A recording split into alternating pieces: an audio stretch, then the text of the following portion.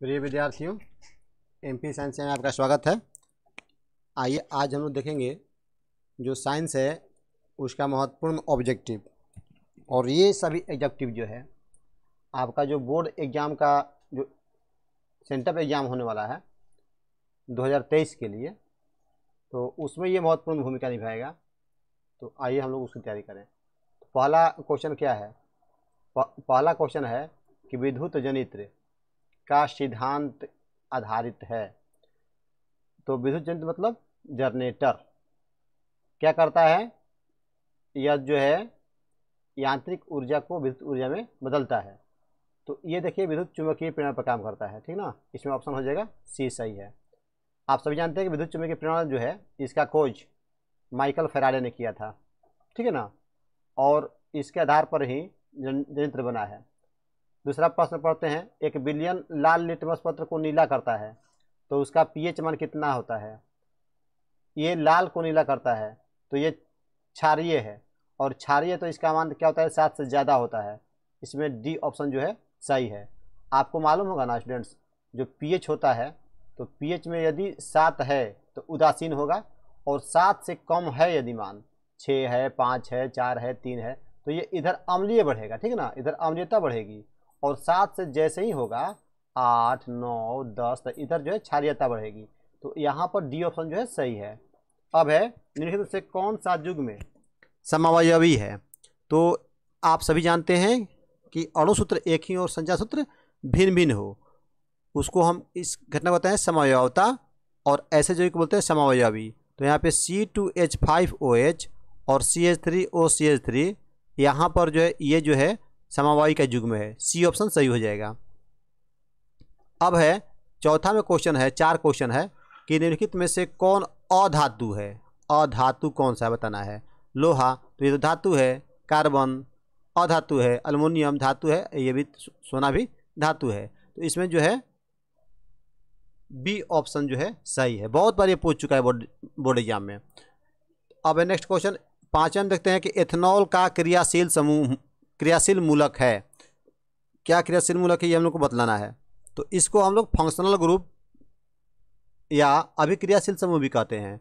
तो एथेनॉल कह रहा है? तो एथेनॉल का होता है? O H C H C H O जो होता है ओ कीटोन का होता है? सी डब्ल्यू एच जो है तो कार्बोक्सिलिक समूह होता है।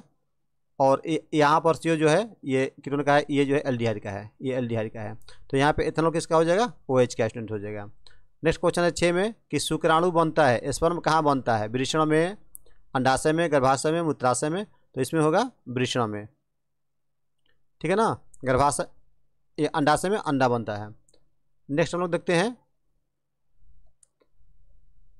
ऑक्जिन है। ऑक्जिन क्या है? वसा है, एंजाइम है, हार्मोन है कार्बोरेट है। तो आप सभी जानते हैं कि ऑक्जिन क्या है? एक पादप हार्मोन है। तो इसलिए इसमें कौन सही होगा? सी ऑप्शन सही होगा। आप जानते हैं ना students auxin gibberellin cytokinin abscisic ethylene ये सभी जो है पादप हार्मोन है। और याद रखिएगा ना, जो फल पकाना हार्मोन कौन है? एथिलीन है। बहुत बार पूछा जा चुका है। अब आइए देखते हैं आठवें क्वेश्चन मनुष्य में वृक्ष संबंधित है भी भी आई क्वेश्चन है स्टूडेंट्स एकदम बिल्कुल हर बार ये पूछते रहता है। पोषण से संबंधित है, श्वसन से, उत्सर्जन से, परिवहन से। तो वृक्ष जो होता है, वो बेकार पदार्थों को छाने काम करता है तो उत्सर्जन से होगा इसमें। सी ऑप्शन सही है। सही आहार श्रृंखला है। कौन आहार श्रृंखला सही छांटना है इसमें। तो घास को खाती है, खाता है हिरन और हिरन खाता है शेर। मछली को घास, जी, और घास को गाय। मछली को घास खाएगा जी नहीं ना? तो ये गलत हो जाएगा, ये सभी गलत है, ये क्रम गलत है, और ये डी ऑप्शन जो है स्टूडेंट्स सही है।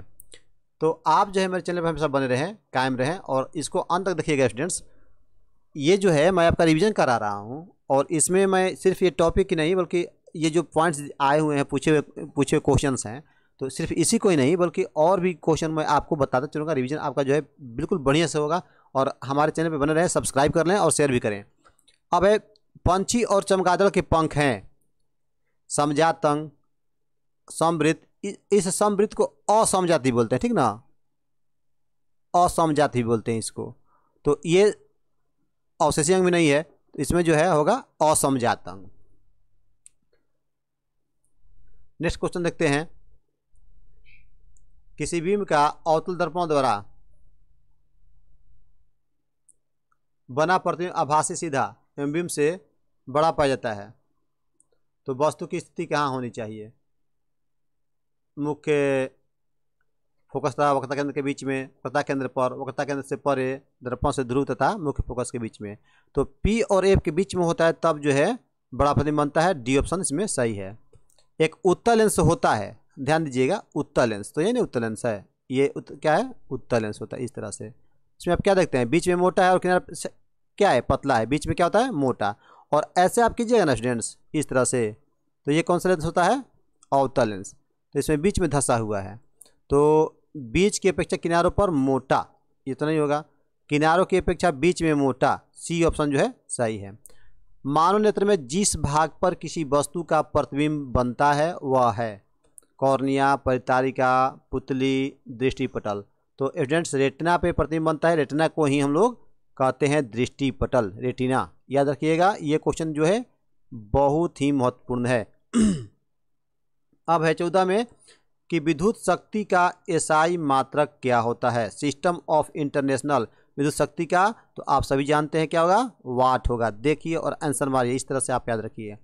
अब है कि किसी विद्युत बल्ब पर 220 वोल्ट और 100 वाट रखा है 100 वाट अंकित है तो जब इसे 110 वोल्ट पर प्रचारित करते हैं, तब इसके द्वारा उपभुक्त शक्ति कितनी होगी बताना है हमको। तो पहले हम लोग क्या करेंगे? पहले हम लोग क्या करेंगे? पी बराबर, क्या होता है? पी बराबर क्या होता है? वी आई तो पी बराबर वी आई से हम लोग निकाल लेंगे तो आई का मान कितना हो जाएगा? बोलिए पी बटा में भी हो जाएगा। तो पी बटा भी हो जाएगा तो पी का मान यहाँ पर कितना दिया हुआ है? सौ है। ठीक ना? और बटा में भी का मान कितना है? दो सौ बीस है तो दो सौ बीस रख देंगे। इसको कटाएँगे तो ये कट गया, और यहाँ पे आ गया दस बटा में बाईस। इसका हो जाएगा पाँच, और नीचे हो जाएगा ग्यारह। ये आई का मान गया। अब कह रहा है कि इसे दो एक सौ दस वोल्ट पे भेजेंगे तो शक्ति कितनी होगी? तो P बराबर हो जाएगा वी आई फिर से सूत्र इसको लिखेंगे। V का मान कितना रख देंगे? दो दो सौ, एक सौ दस, एक सौ दस। तो एक सौ दस गुणे पाँच बटा में ग्यारह। तो ये ग्यारह दहा कट जाएगा। तो दस बचे पचास। कितना आ गया? पचास वाट आ गया, ठीक ना? इसमें सी ऑप्शन जो है, सही है। अब है निम्नलिखित में कौन ससंयोजित जैविक है? तो इसको इस तरह का जो होता है, उसको आपको देखते ही देखते ही पहचान देना है कि कौन जो है ससंयोजिक है। देखिए, इसमें क्या है ना? इसमें स्टूडेंट्स क्या है? इसमें कौन सा संयोजिक है, ये आपको देखते ही देखते जानना कैसे जानिएगा? जिसमें कार्बन हो जाएगा, ध्यान दीजिए मैं क्या कर रहा हूँ। यहाँ पर देखिए कार्बन सी है कि नहीं है? है ना? इसमें सी सी मतलब कार्बन, यहाँ पर सी मतलब क्लोरीन है। इसमें सीए मतलब कैल्शियम है, क्लोरीन है, ठीक ना? तो जिसमें कार्बन आ जाएगा ना, वह ससंयोगिक होगा, इसलिए इसमें सी एच फोर होगा। अब एक लोहा को जिंक से लेपित करने की क्रिया को क्या कहते हैं? तो इसको कहते हैं गैल्वेनीकरण बी ऑप्शन सही है। आधुनिक आवर्त सारणी में तत्वों का, तत्वों के वर्गीकरण का आधार क्या है? तो आधुनिक आवर्त सारणी मोस्ले ने सजाया था और ये सजाया था परमाणु संख्या के आधार पर। और ध्यान दीजिएगा, परमाणु द्रव्यमान के आधार पर जो है मेंडलिव ने सजाया था, ठीक ना? ये मेंडलिव सजाए थे मेंडलिव ये दो ही पूछता है वी वी स्टूडेंट्स है, दोनों में से एक पूछता है। तो मेंडलिव द्रव्यमान के आधार पर सजाए थे और मोस्टले सजाए थे परमाणु संख्या के आधार पर जो कि आधुनिक भी जिसको बोलते हैं। तो ये हो गया मोस्टले अब है कि इथाइल अल्कोहल को किस प्रकार के श्वसन में बनता है? तो वो होता है अवायवीय श्वसन में इथाइल अल्कोहल बनता है। स्वपोषी पोषण के लिए आवश्यक क्या है? सी ओ टू क्लोरोफिल सूर्य का प्रकाश, इनमें से सभी। तो आप सभी जानते हैं कि जो सभी हरे पेड़ पौधे जो होते हैं, वो वायुमंडल से सी ओ टू लेते हैं, ठीक ना? एस्टोमाटा के द्वारा क्या लेते हैं? सी ओ टू और सूर्य के प्रकाश में सूर्य के प्रकाश में वो अपना भोजन, वो अपना भोजन, ज़मीन से क्या लेते हैं? जल लेते हैं एच टू लेते हैं। लेकर के स्वयं क्लोरोफिल में बनाते हैं वो। क्या बनाते हैं? क्लोरोफिल में बनाते हैं। ठीक है ना? तो ये चारों चीज़ ज़रूरी है। तीन में से डी ऑप्शन जो है सही होगा। तो इस प्रकार से स्टूडेंट्स जो है, हम लोग तैयारी करेंगे। हम आपको डेली जो है साइंस का, मैथ का, या जो भी मतलब की है, आपको ये अति लघु लघु जो भी है, उसको मैं आपको बतलाते रहूँगा। और टिपिकल क्वेश्चन भी ज़्यादा इस पर ध्यान हम लोग को देना है। तो रिवीजन कीजिए। ठीक है ना? और मेरे चैनल में बने रहिए। और अंत तक देखिए इसको और शेयर भी दोस्तों के साथ में कीजिए। यदि अभी आप तक मेरे चैनल को सब्सक्राइब यदि नहीं किया है तो सब्सक्राइब भी कर लीजिए। तो आज के अंक में इतना ही। Thank you very much students फिर हम नेक्स्ट वीडियो मिलेंगे। तब तक आपको बहुत बहुत धन्यवाद।